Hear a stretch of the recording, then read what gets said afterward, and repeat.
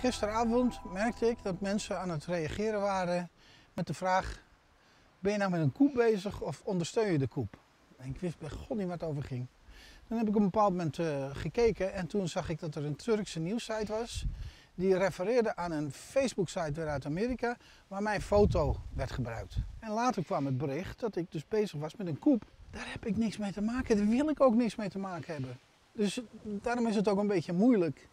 En vooral toen mijn dochter erbij betrokken was, dacht ik, nou, ik ga aangifte doen. Ik heb aangifte gedaan bij de politie. En we zijn nu Facebook aan het bewerken dat, die, dat dat er eigenlijk een soort identiteitsfraude is.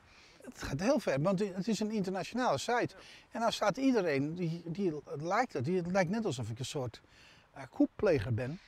En, en, je ziet allemaal likes, het gaat 1500 likes per dag. Uh, en dat zijn allemaal mensen die natuurlijk meneer Cactus niet kennen. In Nederland denkt men, ja, dat is belachelijk.